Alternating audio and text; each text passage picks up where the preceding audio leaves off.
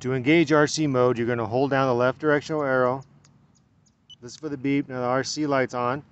Now I can go forward, slow, medium, fast. I can left and right. I stop it. I go reverse.